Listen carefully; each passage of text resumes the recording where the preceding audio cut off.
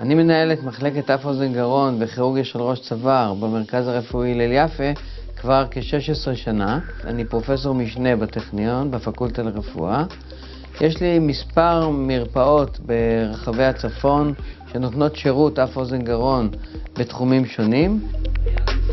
אני מבצע לחולים את רוב ניתוחי אף אוזן גרון, ובמיוחד בשטח הרינולוגיה, ניתוחי סינוסים בשיטות חדישות כמו balloon sinuplasty, ניתוחים בדום נשימה בשינה, כולל sleep endoscopy וניתוחים עם coblation באזור החך, בסיס לשון, שקדים.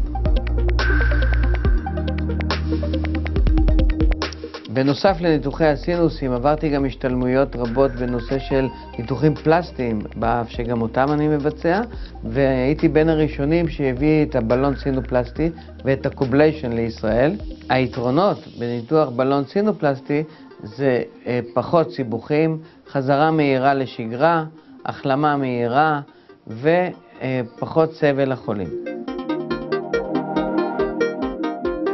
בנושא של דום נשימה בשינה, אנחנו עושים אבחון מיוחד שנקרא Sleep Endoscopy, בו אנחנו רואים איפה באמת הבעיה של הנחירה ודום הנשימה.